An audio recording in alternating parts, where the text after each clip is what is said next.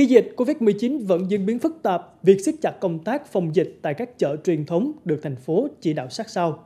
Bên cạnh tuyên truyền nâng cao ý thức của người dân, ban quản lý các chợ cũng đã tích cực quán triệt quy định trách nhiệm của mỗi tiểu thương trong chợ, nghiêm chỉnh chấp hành các biện pháp phòng dịch, đảm bảo an toàn cho cộng đồng.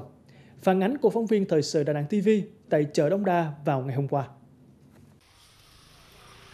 Là một trong những chợ có quy mô lớn nằm ngay trung tâm thành phố, Đều đặn hàng ngày, ban quản lý chợ Đống Đa với chiếc loa cầm tay như thế này đi quanh tuyên truyền phổ biến cập nhật các quy định phòng chống dịch của thành phố. Chi hội phụ nữ tại chợ Đống Đa cũng thường xuyên nhắc nhở chị em tiểu thương tuân thủ đầy đủ các biện pháp phòng dịch, tuyệt đối không chủ quan lơ là.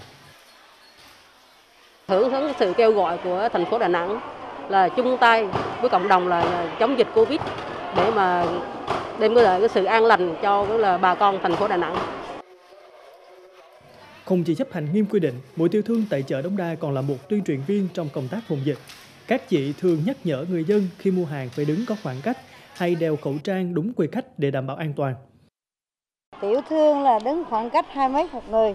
Người dân đến mua hàng cũng có ý thức lắm, không có chen lắng sơ đãi chi hết. Chính ý thức phòng chống dịch của các tiểu thương đã góp phần làm gương để người dân khi đến mua thực hiện đúng các quy định phòng dịch, nâng cao tinh thần trách nhiệm với cộng đồng trong tình hình hiện nay là đem khẩu trang vô chứ không có có chủ quan phải cẩn thận, không tập tụ quá đông người với lại đi phải giãn cách xa ra cỡ 2 mét Cuộc chiến với đại dịch Covid-19 vẫn còn những diễn biến phức tạp trong chặng đường phía trước. Thành phố Đà Nẵng luôn cần sự chung tay, đồng lòng của người dân. Chính ý thức trách nhiệm của mỗi người sẽ góp phần quan trọng trong cuộc chiến cam go này.